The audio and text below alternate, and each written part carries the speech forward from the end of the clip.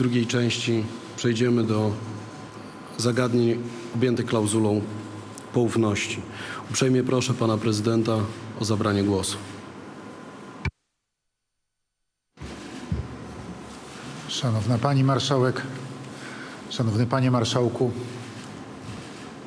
Szanowni Panowie Ministrowie, Szanowne Panie i Panowie Przewodniczący, Posłowie, Senatorowie, bardzo dziękuję za przyjęcie zaproszenia na tą Radę Bezpieczeństwa Narodowego, którą zwołałem w związku ze szczytem NATO, który odbył się przedwczoraj i wczoraj w Wilnie na Litwie.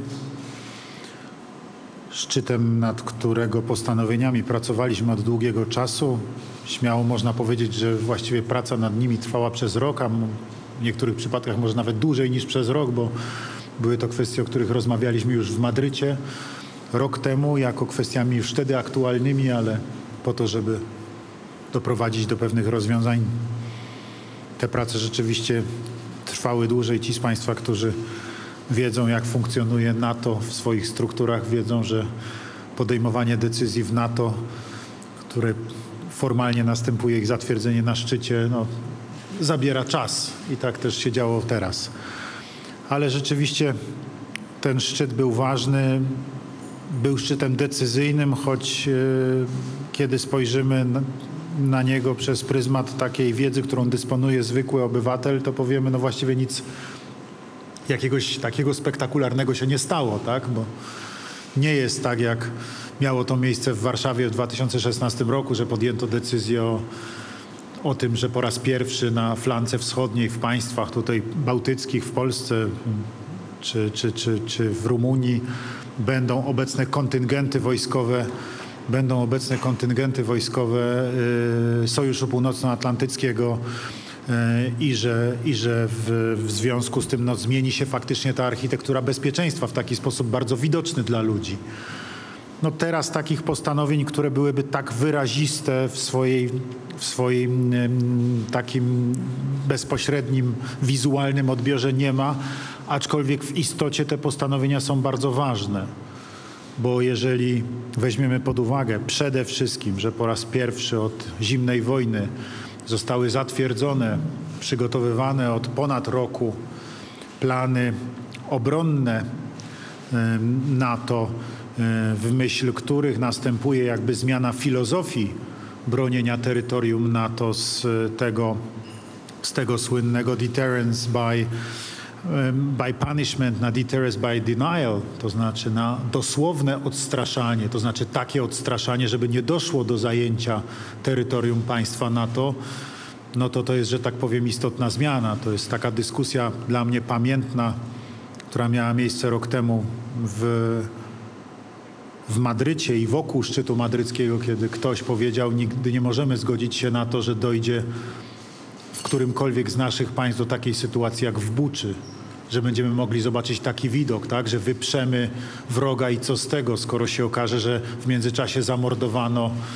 niewinnych cywili, którzy po prostu mieszkali w danym miejscu, że tym się skończy wroga okupacja naszych terenów. W związku z powyższym ta reakcja NATO musi być natychmiastowa, szybka i bardzo zdecydowana i wtedy narodziła się ta idea, że faktycznie te siły bardzo szybkiego reagowania, właściwie niewyobrażalnego do, tego, do tamtego momentu reagowania w ciągu 10-30 dni NATO będą liczyły około 300 tysięcy żołnierzy, czyli rzeczywiście ogromny kontyngent. Bardzo szybko też powiedziano, że żeby to faktycznie mogło nastąpić, potrzebne są dwa warunki.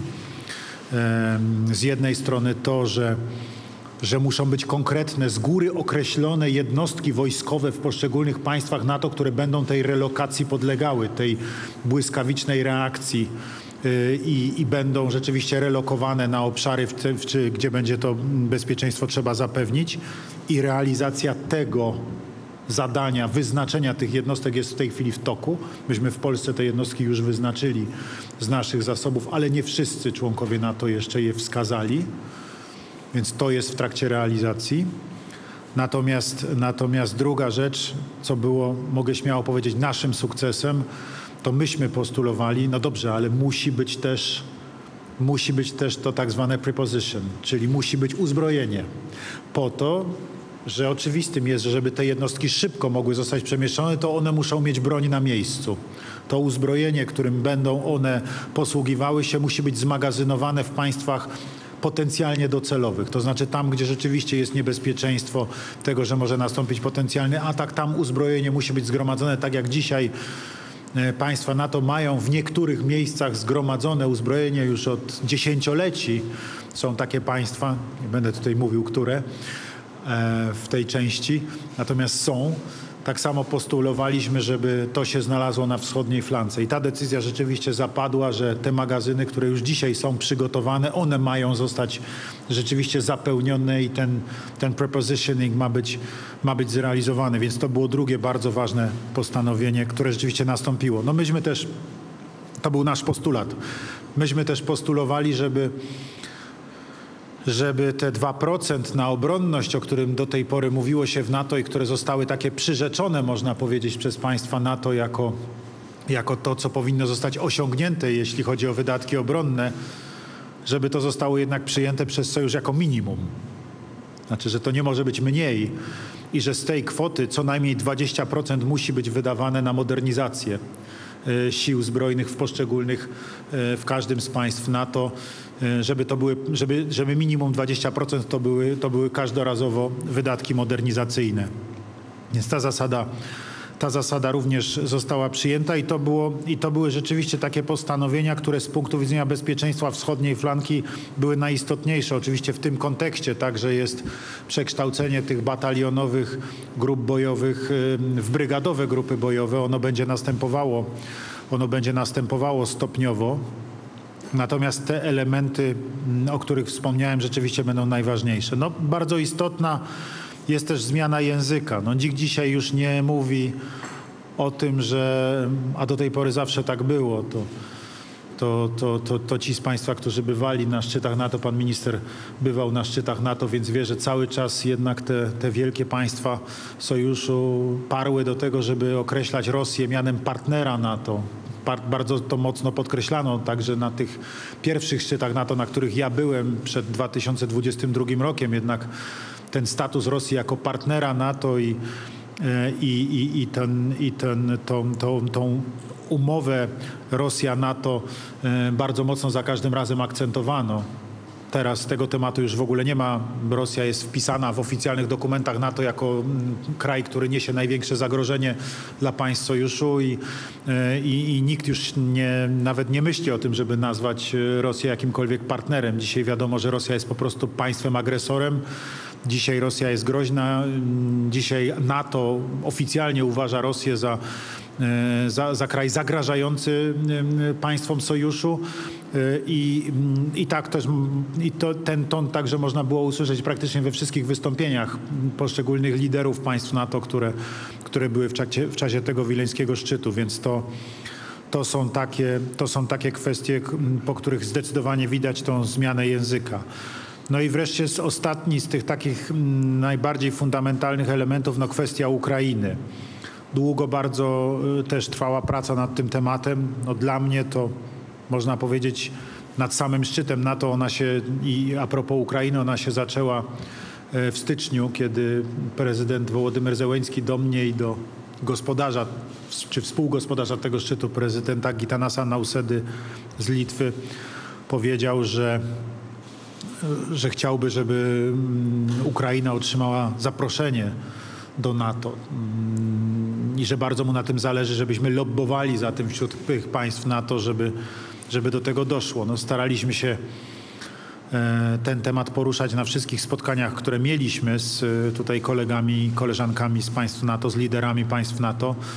No jak Państwo wiecie, ostatecznie takiej decyzji nie udało się E, na, w, wyniku, w, wyniku tych, w wyniku tych prac sojuszu uzyskać, w wyniku tego szczytu wileńskiego. Mamy Mamy za to no, wpisane w konkluzjach kwestię zaproszenia, ale jednak warunkowaną spełnieniem e, wymagań, które NATO stawia generalnie do przyjęcia Ukrainy. W tym kontekście mówi się między innymi o walce z korupcją, o dalszej modernizacji armii ukraińskiej, e, o szkoleniu żołnierzy ukraińskich. Więc tutaj cały szereg tych argumentów jest przez, przez państwa NATO podnoszony. Natomiast no, udało się wywalczyć inne elementy. Naszym postulatem między innymi było to, żeby wobec Ukrainy formalnie dokonywany by, dokonywana była ta procedura, jak się to mówi w NATO taskingu, czyli oceny przygotowania państwa do, do wstąpienia do Sojuszu Północnoatlantyckiego, oczywiście w ramach pełnego członkostwa. Tej, tej procedury dokonują ministrowie spraw zagranicznych i to zostało wpisane do konkluzji szczytu, że, że, że, takie, że, takie, że taki tasking będzie wykonywany przez ministrów spraw zagranicznych. Najbliższe spotkanie ministrów spraw zagranicznych NATO jak co roku w listopadzie odbędzie się i i już w związku z tym zakładamy, że, że ten pierwszy tasking będzie, będzie właśnie w listopadzie, w listopadzie prowadzony. To jest taki wyraźny, proceduralny krok e, w kierunku NATO, czyli jakby można powiedzieć ta proceduralna ścieżka e, wejścia do NATO niejako została dla Ukrainy otwarta. E, Więc, więc to, jest na pewno, to jest na pewno bardzo ważny element. No poza tym powstała Rada NATO-Ukraina. Zamiast, zamiast komitetu, który był do tej pory, będzie Rada. To jest nowa jakość. E, To było wczoraj wielokrotnie podkreślane. Po pierwsze, że posiedzenie tej Rady po raz pierwszy odbyło się wczoraj właśnie. Ta formuła obecności prezydenta Wołodymyra Zełeńskiego, który siedział wśród, ym, wśród przedstawicieli państw NATO, jak to podkreślano, na równych zasadach y, przy, przy okrągłym stole, przy którym zawsze obraduje sojusz. Ym, To było takie znamienne i to pokazywało rzeczywiście tą zmianę statusu Ukrainy w gronie państw, w gronie państw y, sojuszu. Więc, więc powstała Rada NATO-Ukraina i to jest, to jest faktycznie z całą pewnością też dla Ukrainy y, nowa jakość, z którą, z którą mamy teraz, teraz do czynienia. To były te najważniejsze kwestie, o których mówiliśmy. Cóż ja mogę Państwu jeszcze powiedzieć? No, mm, myśmy postulowali również wzmocnienie obrony powietrznej NATO, więc ym, zapadło postanowienie a propos takiego wzmocnienia o charakterze rotacyjnym, to znaczy siły powietrzne NATO y, będą, mm, będą cały czas monitorowały obszar zagrożenia potencjalnego, czyli teraz wschodniej flanki. Te siły powietrzne cały czas tutaj będą państw NATO działały, więc to będzie, będzie dodatkowe wzmocnienie obrony powietrznej e, tutaj w naszej części Europy, o którym zdecydował Sojusz.